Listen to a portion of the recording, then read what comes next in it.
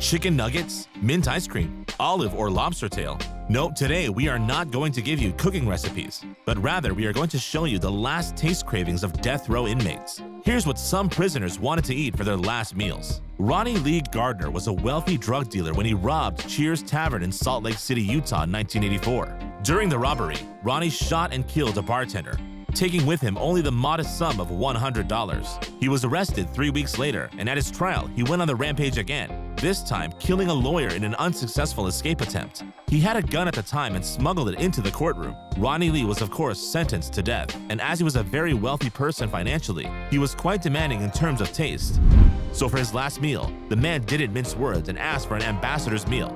A huge steak, lobster tail, apple pie, vanilla ice cream, and a 7-Up. The prisoner enjoyed his last meal while watching the Lord of the Rings trilogy and reading Divine Justice because he also felt that he was being unfairly accused.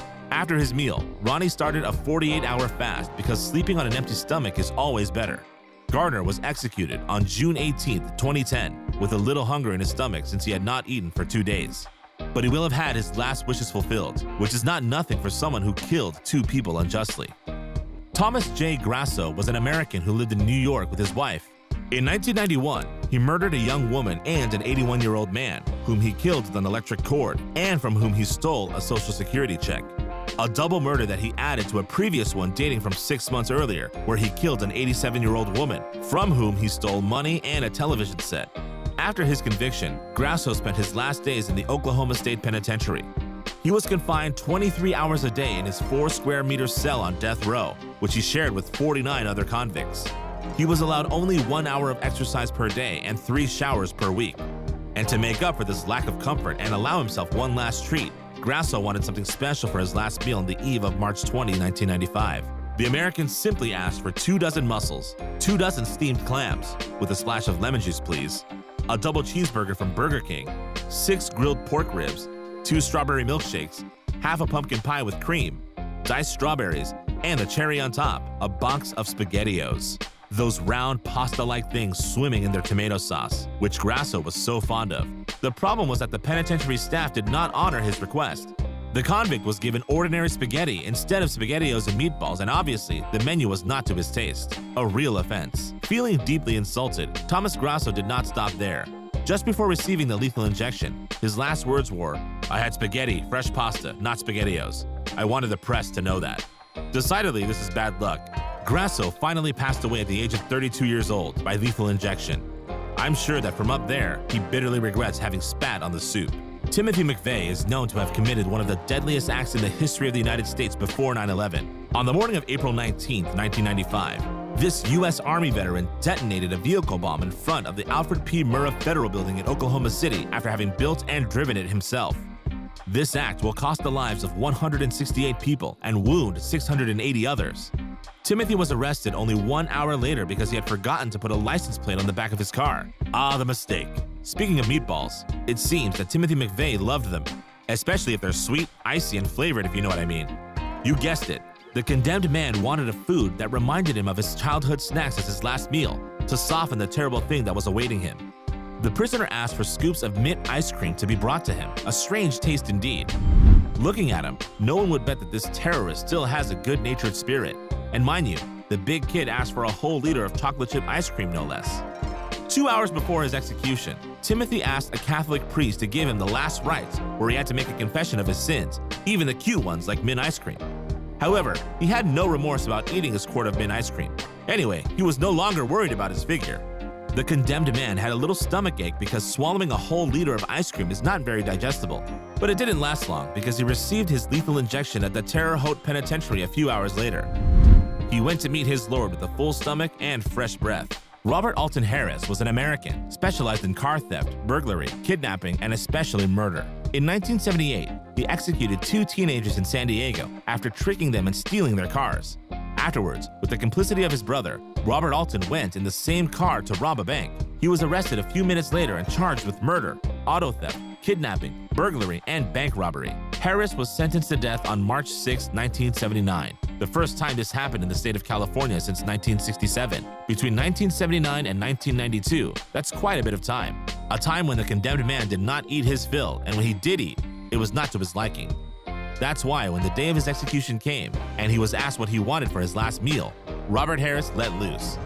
He asked for and received a KFC bucket of 21 pieces of fried chicken, two large Domino's pizzas, an ice cream, a bag of jelly beans, a six pack of Pepsi, and a pack of Camel cigarettes. Clearly, he didn't care about his health anymore. Harris was obviously hungry as he ate everything that night. Of course, that much food was a lot for one man to take in, but Robert Alton was so anxious to make up for all the years of not having a single chicken nugget in his mouth he must have had a bad night with all that food, but he didn't have to worry about it anymore because early in the morning, he was escorted to the gas chamber of San Quentin State Prison where he passed away, but luckily, not his meal from the night before. We must believe that he did not go easy on himself and he had enjoyed his last meal as he should have.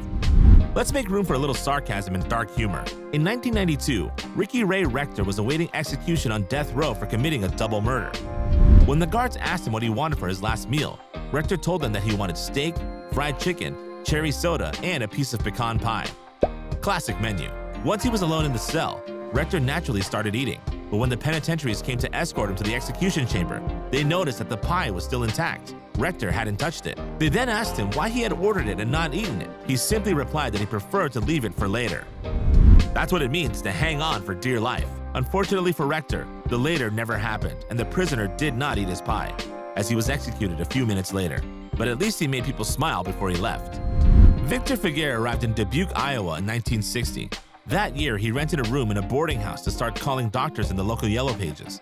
That's how he came across a doctor named Edward Bartels, whom he lied to about coming to his house, kidnapping him, and killing him. A few days later, Feguer was arrested while trying to sell his victim's car. He was convicted and sentenced to death by President John F. Kennedy himself. But Victor was not just another prisoner.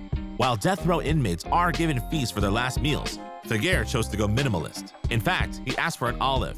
Yes, you heard me right, one small olive with its pit. As you can see, this was not going to appease his hunger. After all, he didn't care about hunger anymore, since his real end was near. It wasn't to keep the taste of the olive in his mouth either. You might think that he was hoping to die of choking by clumsily swallowing the pit, and thus avoid all the unbearable anguish that preceded the fateful moment of execution. But it was not that either, because Feguer did not eat his olive. This one was found in the pocket of his suit. Unfortunately, he died on an empty stomach. The secret of Victor Feguer was finally buried with him. And oh yes, with the olive too. Adolf Eichmann was a great Nazi criminal. He was a high-ranking official of the Third Reich and was largely responsible for the final solution. He was a very unsympathetic man who was also known to have escaped the Nuremberg trial. After being captured by Mossad in 1960 in Buenos Aires and sent back to Israel, Adolf was sentenced to death in 1962. A few hours before his execution, he was asked what he wanted to eat for his last meal. The condemned man refused this offer because he did not want to eat but rather was thirsty. He then asked to be brought just a bottle of Carmel, an Israeli wine. You might think that this was a way for him to get drunk and make his execution more bearable, but Adolf Eichmann only drank half of the bottle in the end, because going before God with a hangover is not very religiously correct. After all, the hangover is nothing compared to all the evil he did while he was alive, and for which he will have to be judged. Eichmann was finally executed by hanging in the Ramla prison near Tel Aviv. He will have died a little tipsy, but at least he will not have felt it. During his lifetime, James Edward Smith wore many hats and had many jobs. From fortune teller to cab driver, he mostly claimed to be a voodoo priest. And since these jobs didn't bring him much, he decided one day to rob and kill an insurance agent in Texas, a crime that earned him the death penalty. A few days before his execution, Smith wanted to have something rather special for his last meal. The prisoner asked for riacunda, a type of soil frequently associated with voodoo rituals. The condemned man was believed that if he ate it before he was executed, his spirit would be free to pass into the afterlife and not remain imprisoned in the prison corridors haunting the prisoners and guards. You guessed it, his crazy request was denied by the Texas Department of Corrections. Hours before he passed away, Smith was granted a reprieve. He remained on death row for two years, two more years of suffering for the prisoner, who was finally executed by injection on June 26, 1990. Wonder what he got for his last meal? A small pot of plain yogurt. Not as original as mud, but he avoided serious indigestion in the afterlife. If you were in their shoes, what would you have asked for? Let us know in the comments. We'd love to hear what you like. And if you like this video, don't forget to give it a like, subscribe to the channel, and activate the bell to receive all the notifications and not miss any of our upcoming content.